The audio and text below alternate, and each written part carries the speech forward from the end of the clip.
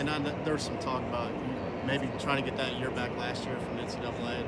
Uh, are, are you expecting this just to be your senior year, or kind of where's the process at? You know, I'm expecting this to be my senior year. I'm not. I haven't really, you know, I haven't really heard much from him. But uh, you know, I'm training every day like this, this is my last.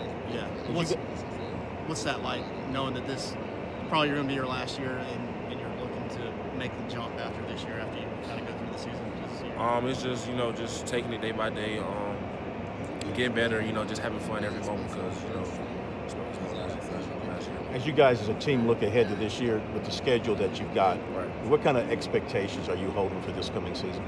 Uh, expectation, you know, just you know, uh, playing hard. You know, getting more, getting the ball more. Uh, last year, you know, that, that's a big emphasis this year, and playing more for our brothers. You know, uh, you know, we did like different things. You know, just to know our brothers more, and playing together and just stuff like that.